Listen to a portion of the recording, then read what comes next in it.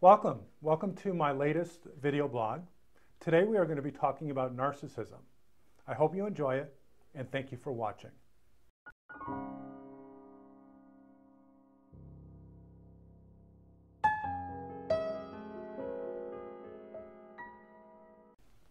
Why do narcissists act superior and entitled?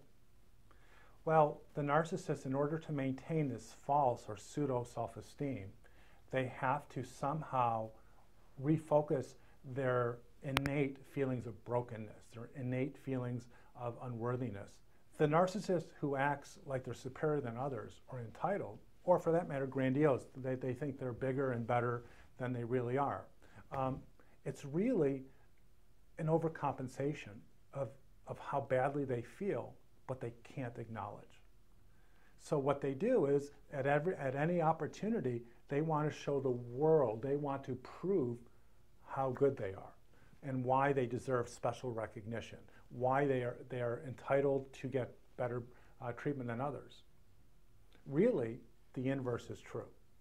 They feel much less worthy of others and they feel more shamefully, um, more shameful um, about it. But they can't and they won't ever think about it because it's too painful. So what they do is they assume that they're better and they want people to treat them as such. It's just a compensation for that part of them that is repressed, that is connected to how uh, deeply impaired they are psychologically.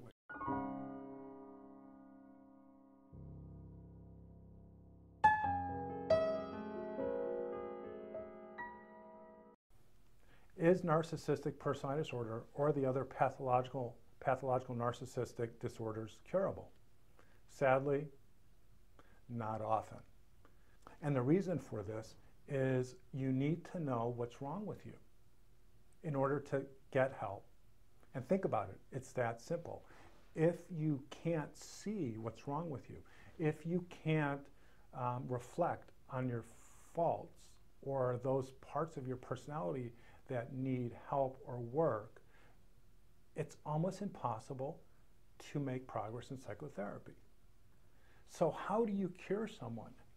There are bona fide, clinically proven, uh, research validated therapy techniques that work very well with narcissistic personality disorder and borderline personality disorder.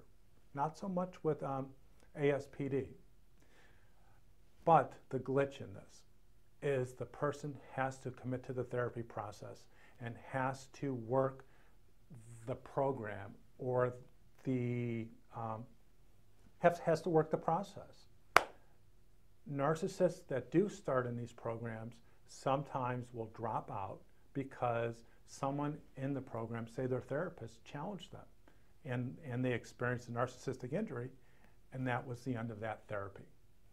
A lot of therapists know this when giving marital therapy with a, uh, someone with a narcissistic personality disorder, because uh, when you hold um, a narcissist accountable in, in, in that ther therapeutic environment, often the narcissist is um, insulted. They are horrified that you would even um, allude to or insist that maybe it's part of their problem.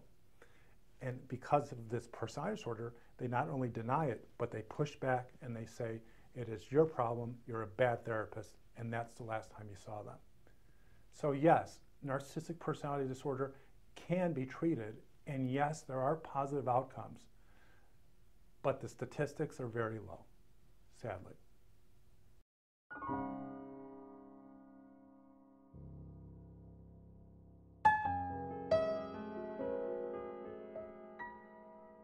Does our culture celebrate narcissism? Absolutely. Our culture is about achievement. It's the American way. It's a land of milk and honey, that if you're just smart enough and motivated enough, you can achieve whatever you put your heart and mind to. it's a part of the American dream is to be successful and to compete against others and to, and to win because that's capitalism.